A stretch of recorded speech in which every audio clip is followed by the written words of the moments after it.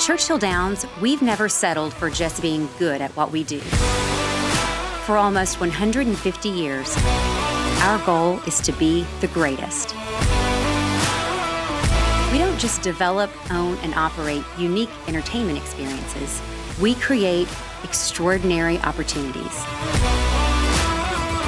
With our success, we understand that our greatest investment is in our team. And no place I have I ever worked where they use the word family more and mean it. Working here has inspired me in so many different ways. It's like when I started this job, um, I wanted to become a better person. Not only that, but when you see someone next to you putting forth the effort, it's easy to put forth the effort yourself. I can't even find the words to describe what it's been like to work for CDI. It is humbling and amazing and honoring every single day that I get to come to work. Well, my director, he encouraged me to go in 2018 at Bellarmine University and I get my uh, certification in human resources management. It's amazing for me and for everybody here because my the CDI cover everything to me on the university. The benefits are great. I had an incident with my son where his where he lost insurance coverage and I was able to get him on my insurance with no problem.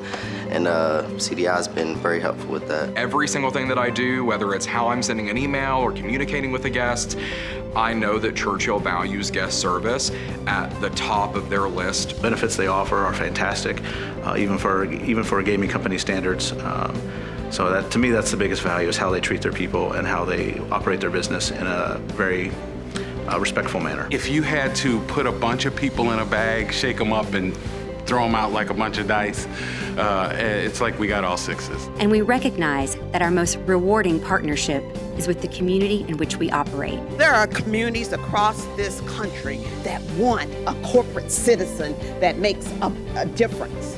And we have that in Churchill Downs. Always looking out, always looking around to see where can I make the biggest difference. Churchill Downs took a lot of time uh, over the last two years to listen to the community. They actually listened and they took notes and they followed up and they are putting what they learned into practice. But today is about the future. And Churchill Downs is ready to crown Terre Haute the Queen of Extraordinary.